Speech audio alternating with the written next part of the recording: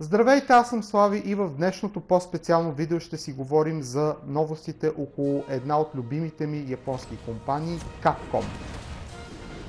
Много фирми вече обявиха някои от своите най-очаквани заглавия за 2018 година и Capcom не е изключение. По време на Gamescom миналият месец феновете имаха възможност да пробват Monster Hunter World.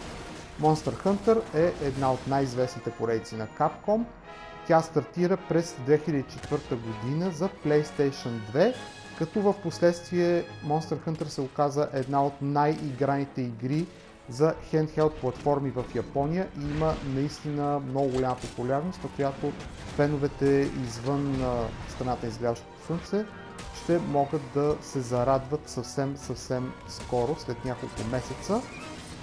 Както виждате от тези кадри, Monster Hunter е игра, в която ви играете с ловец, който използва всякакви екзотични фентази и супер тежки оръжия, за да ловува големи чудовища, които приличат много-много на динозаври и са с някакви наистина колосални размери. Има всякакви видове чудовища, като с тях се биете както на земята, така и под водата. А с някои от тях може и да летите из въздуха, да ги сложите под превозни средства и така нататък. Оръжията са наистина много, много брутални, много интересни. Някои от напомнят за мувлистите на грамаданските оръжия от Dark Souls. А в играта също така ще имате и мултиплеер.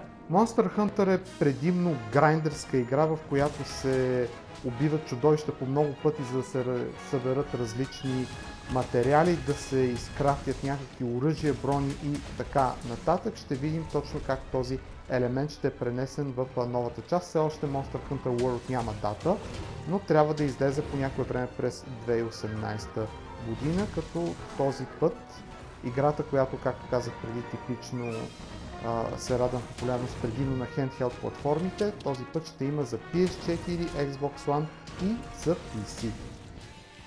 Следващата игра обаче излиза буквално този месец. Това е разбира се Marvel vs Capcom Infinite. Кадри от битките с последния бос ликнаха съвсем наскоро. Това можахте да видите в момента. Преди релиза обаче, който е на 19 ще видите моето специално ексклюзивно интервю с Питър Росис, Combo Fin, което взех по време на Gamescom тази година.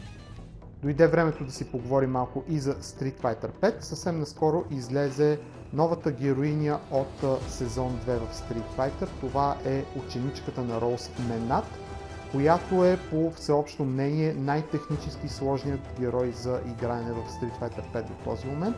Съвсем скоро възнамерявам да разцъкам малко по-сериозно с нея, тъй като наистина ме кефи и ще ви покажа някакви интересни PvP игри. И последното капкомско заглавие, на което искам да обърна внимание днес е новата стара Resident Evil игра Resident Evil Revelations. Това е първият Resident Evil Revelations. На 29 август миналия месец излезе ремейк на този Resident Evil, който по принцип беше излезъл през 2012 година за Nintendo 3DS. Аз лично считам, че това беше най-добрата игра за тази платформа излизала до този момент. През 2013 година после имаше версия за PS3 и сега излиза нова ремейк версия за новото поколение конзоли. В този Resident Evil играете с една от любимите ми героини Джил Валентайн и един нов герой, който се казва Паркър Осияни. Отново имаме смяна на сцените, смяна на героите по същия динамичен начин, който някой от вас може да познат от Resident Evil Revelations 2 за PS4. Тази част обаче ви я препоръчвам също, тъй като в нея има тези класически хорър елементи, които направиха Resident Evil поредицата популярна преди толкова много време. И също така има пъзели, всякакви други интересни неща. Аз лично възнамерявам да играя тази игра съвсем а, скоро. Преди съм я цъкал само за 3DS, но а, не много подробно. Също така искам да ви препоръчам, ако имате възможност да гледате и Resident Evil Vengeance анимето. Има много яки бойни сцени, много яки хорър сцени и въобще ще се изкефите доста. Предполагам някои от вас са го пропуснали това заглавие, но определено ви препоръчам да му обърнете внимание. Това беше всичко от мен сега. Чао и ще се видим съвсем скоро.